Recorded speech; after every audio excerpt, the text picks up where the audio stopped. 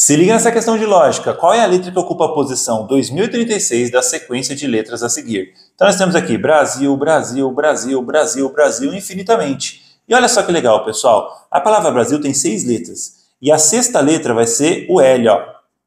E aí 6 mais 6 dá 12, a décima segunda vai ser o L também.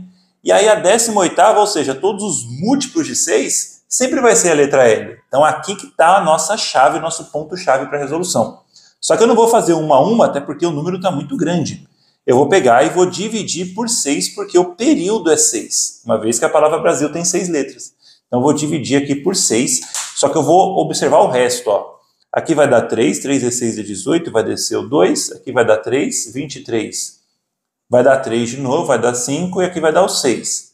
Aqui vai dar 6 vezes 6 vezes 9, né? Que vai dar 54. Vezes 9 então vai ficar menos 54, vai dar resto 2. Esse resto 2, pessoal, ele vai indicar que são duas casas depois de um múltiplo de 6.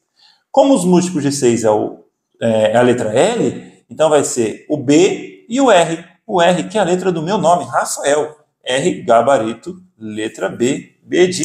Bacana, né?